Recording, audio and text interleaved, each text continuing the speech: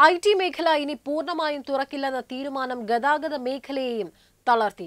ആയിരക്കണക്കിന് വാഹനങ്ങളാണ് I T പാർക്കുകളും സ്ഥാപനങ്ങളും കേന്ദ്രീകരിച്ച് ഓടിയിരുന്നത്. ലക്ഷക്കണക്കിന് രൂപ മുടക്കി വാഹനങ്ങൾ അറ്റകുറ്റപ്പണി നടത്തി തിരികെ വരാൻ ഒരുങ്ങവെയാണ് അപ്രതീക്ഷിത തിരിച്ചടി. സംസ്ഥാനത്തെ ഐ ടി സ്ഥാപനങ്ങളിൽ ദിവസേന അറുന്നൂറിലധികം വാഹനങ്ങൾ വാടകയ്ക്ക് നൽകിയിരുന്ന ഒരു സ്ഥാപനമാണിത്.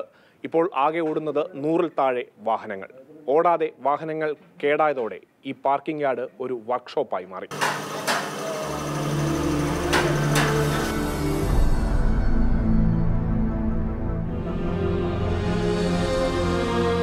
പലർക്കും ജോലിയില്ല. ഒരുപാട് പേര് നമുക്ക് ഞങ്ങൾക്ക് തന്നെ അഫോർഡ് ചെയ്യാൻ പറ്റാത്ത അവസ്ഥ വരാൻ നേരത്ത് നമ്മുടെ കൂടെയുള്ള ആൾക്കാർ അവർ പറഞ്ഞു വിടും. നമ്മൾ പറഞ്ഞു വിട്ടിട്ട് ഇനി സാഹചര്യം ഉണ്ടാകുമ്പോൾ വരാം എന്ന് പറഞ്ഞു വിടേണ്ട അവസ്ഥയാണ്.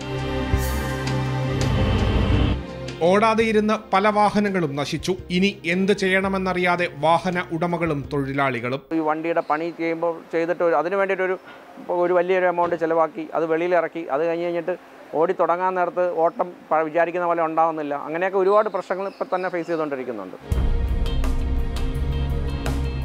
ഇത് തിരുവനന്തപുരം ടെക്നോ പാർക്കിൽ വാഹനമോടിച്ചിരുന്ന ഡ്രൈവർമാരാണ്. ഒരു കാലത്ത് നൂറിലധികം പേർ ഇവിടെ ജോലി ചെയ്തിരുന്നു. ഇപ്പോൾ വിരലിൽ എണ്ണാവുന്നവർ മാത്രം.